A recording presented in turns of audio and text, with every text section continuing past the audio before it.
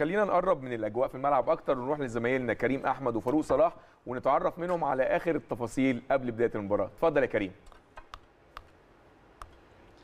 برحب بيك كابتننا الكبير كابتن ايمن شوقي طبعا كل التحية ليك ولكل نجوم الاستوديو التحليلي وجمهورنا العظيم جمهور النادي الأهلي. تحدي كبير النهارده وتحدي قوي ويمكن كمان فريق سموحة مميز جدا. بالنسبة طبعا للعب الجماعي وأيضا مدير فني مميز كابتن أحمد سامي فالتحضيرات كانت جيدة جدا الحقيقة من بيتسو موسيماني اللي ما كانش فيه وقت والتلاحم كبير جدا للمباريات وأيضا كمان ليها تدريبات لكن نقدر نقول إن شاء الله بإذن الله النهارده مع التشكيله الخاص بفريق النادي الأهلي إن شاء الله بإذن الله نقدر إن إحنا نحصد ثلاث نقاط يكونوا مهمين جدا. يمكن أنا سامع كابتن أيمن طبعا النقاش شوية على التشكيل لكن أنا حابب أقول لك الشكل العام أو الطريقة اللي ممكن بيتسو موسيماني يكون النهارده قادر إن هو إن شاء الله ينفذها. يعني طبعا أنا عارف إن يمكن ممكن ناس كتير تختلف معايا في هذا الأمر لكن هو ده اللي إحنا شفناه في التدريبات هو ده اللي إحنا شايفينه في التكتيك الأخير لبيتسو موسيماني. يعني أنا هعيد معاك التشكيل سريع يا كابتن أيمن خط الظهر مش محتاج أكرم توفيق وبدر بنون وياسر إبراهيم وأيمن أشرف. أمامهم حمدي فتحي اثنين قدامهم محمد مجدي قفشة وأليو ديانج. على الأطراف حسين الشحات وأحمد عبد القادر وبيرسي تاو. يمكن ده التدريب الأخير لفريق النادي الأهلي اللي كان مركز عليه بشكل كبير جدا لكن أكيد هنشوف لا مركزية زي ما إحنا عارفين طبعا لفريق النادي الأهلي وفكر موسيماني في الثلاثي أو الرباعي الأمامي لكن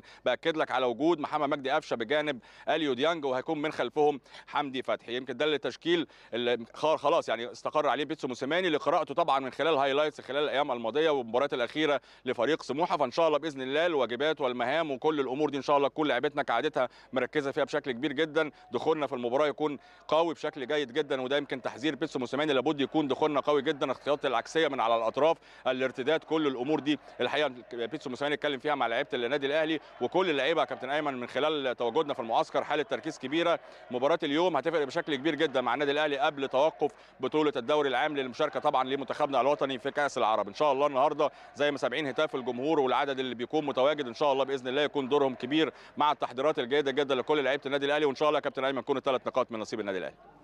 بإذن الله كريم. شكرا جزيلا للزميل العزيز كريم أحمد.